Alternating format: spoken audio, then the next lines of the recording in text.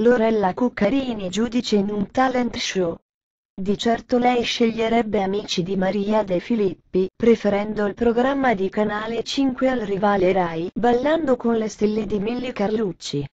Lo ha rivelato in un'intervista rilasciata sul nuovo numero del settimanale Chi, in cui regala lodi alla trasmissione Mediaset definendola uno dei pochi varietà rimasti.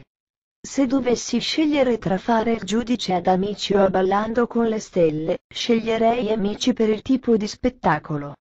Ballando è divertente, ma i giudici hanno un ruolo marginale, sta diventando sempre più uno spettacolo con altre componenti, mentre Amici è molto ben fatto, i ragazzi sono bravissimi ed è più vicino al varietà, anzi, è uno dei pochi varietà rimasti. Maria raccoglierà l'invito e la chiamerà nell'edizione 2017-18. Nell'intervista non sono mancati riferimenti a polemiche passate con altri personaggi del mondo dello spettacolo. La Cuccarini ha rievocato lo scontro con Raffaella Carrà, che nel 2014 la scelse inizialmente come giurata Forte, Forte, Forte salvo poi fare marcia indietro. Nel frattempo, la showgirl aveva rinunciato ad altri impegni a teatro proprio per tenersi libera per lo show, e se la prese molto per il rifiuto. La stima per la signora della tv, comunque, è rimasta immutata. In quel caso ho avuto una reazione umana di grande dolore. Essendo una che non parla alle spalle, mi sembra giusto segnalare quell'atteggiamento scrivendo una lettera aperta.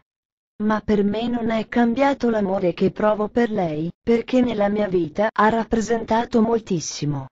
Infine, non poteva mancare un cenno a Eder Parisi, la cui reunion con nemica amatissima ha portato strascichi molto negativi, con le accuse dell'americana contro il programma e una sua successiva azione legale contro Lucio Presta.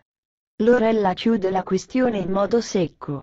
Dopo aver fatto insieme Nemica amatissima, si può proprio dire che non tutte le ciambelle riescono con il buco anche se quella era riuscita, almeno visti gli ascolti.